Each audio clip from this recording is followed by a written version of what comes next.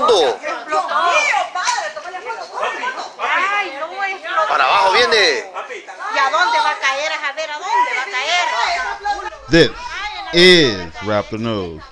And this is the second coming of the sun. Not the S O N, but the S U N. And it is here. This is the incoming system. And if no one told you, you will believe the sun is shining at night.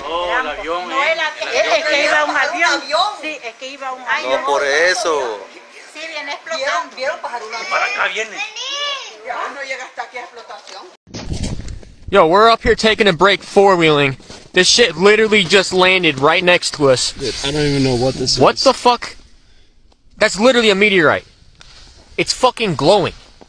This shit landed right next to us like two minutes ago. What the f?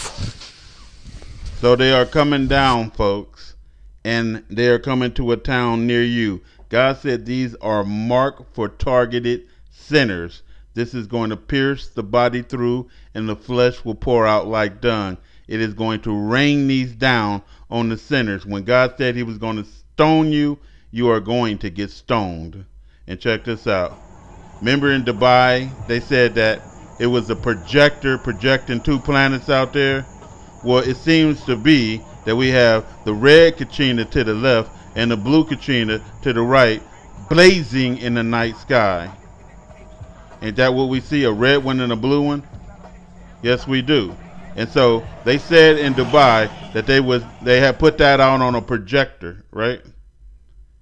Did anybody see a damn projector and they got a projector out here now doing the same thing to celebrate these two planets? They are liars. And so I advise everybody to get their shit together with the Most High God and stop worshiping idol gods like Christ crucified and obey the Most High God by serving and worshiping Him alone. This is Rap the News.